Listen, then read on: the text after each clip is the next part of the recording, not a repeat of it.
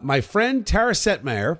Uh, Tara is a national pundit on. Uh, she's on CNN. She's a contributor. She is. She talks politics for a living. Tara, thanks for joining me on New Jersey 101.5. Good morning. Good morning, Bill. My absolute pleasure to join you on this Veterans Day, and I wish all of our veterans a happy Veterans Day. God bless them for what they do. Freedom isn't free. Freedom isn't free. You said it well, Tara. So let me ask you. We, I wanted to bring you on to talk a little bit about the debate. Now, my take on last night is that the guy that stole the show was in the undercard debate. I thought Chris Christie did an outstanding job last night, and it was incredible how he was one of the few that really took the fight to Hillary Clinton. And I, you know, this idea that he's able to address the audience directly, he seemed completely in command. And my second take is that Jeb Bush was a, was just a train wreck last night again. And I think some of the media are propping him up, saying, "No, he didn't do that badly." Yes, he did. I thought he looked terrible. What do you think?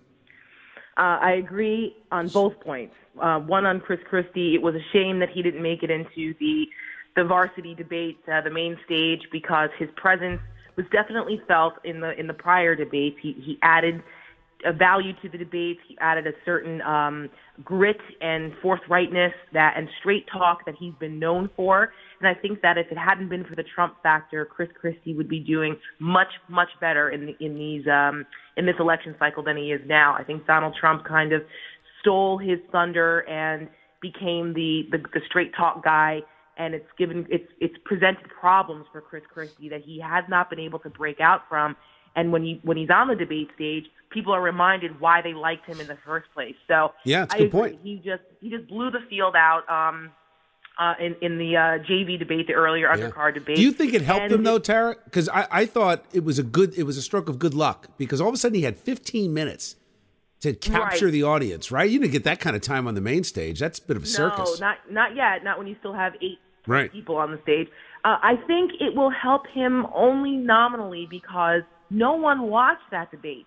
You know, the average person, you and I, we do this for a living. We follow Yeah. these things very closely. But the average person at seven o'clock on a Tuesday night is having dinner with their family. They're doing other things, and they're definitely not, not most likely not watching a Fox Business Channel debate. So right? They're watching reruns of Bob's Burgers. That's what they're or doing. Jeopardy or something, you know.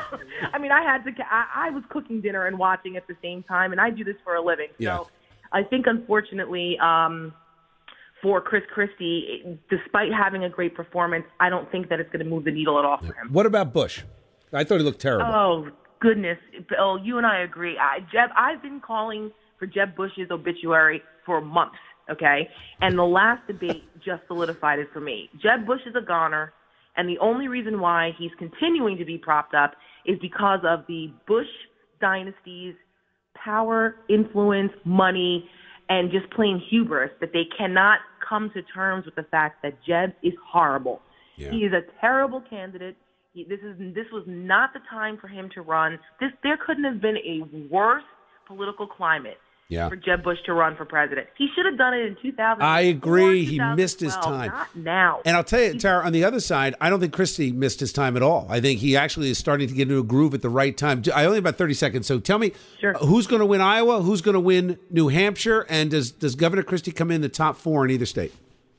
I think Christie has a shot to come in the top four in New Hampshire. He's invested a lot of time and money and effort there. Um, and I think his message will resonate more with New Hampshire voters than they will necessarily with Iowa voters. They are very different electorates. Uh, I think what's ha- going to happen in Iowa is you're going to see either a Ted Cruz or um, Ben Carson win in Yeah. Iowa. And I see, as as Ben Carson demonstrated, he is really a political neophyte. I mean, he's a nice guy, but he's ill-equipped to be president of the United States, and that was on full display during the foreign policy discussions and during the discussions about macroeconomics last night on that stage. So that's who I think is going to come in in Iowa. But the, you know, who wins Iowa doesn't necessarily determine who's going to win the presidency. Does Trump win New Hampshire? Nomination. Does Trump win New Hampshire? I think Trump has the, the the biggest shot to win New Hampshire. His lead there is pretty strong. So if he wins New Hampshire, that will carry him over. But I don't see where else he goes once we start getting into uh, the larger Yeah.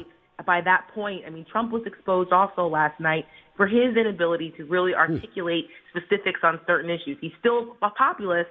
He still says things that people say, yeah. But as you get closer to voting, I think that voters will reevaluate is this really who is the most experienced, best person to occupy the Oval Office and everything it encompasses. All it's right. more than just sound bites. Tara Setmayer, thank you for joining me on New Jersey 101.5. Let's let's absolutely check in uh, after the next debate or even before it as things uh, get rolling. Maybe after uh, the next polls are released, we'll see uh, where we are. Thanks for joining me. Sure. Appreciate your time this morning. Bill.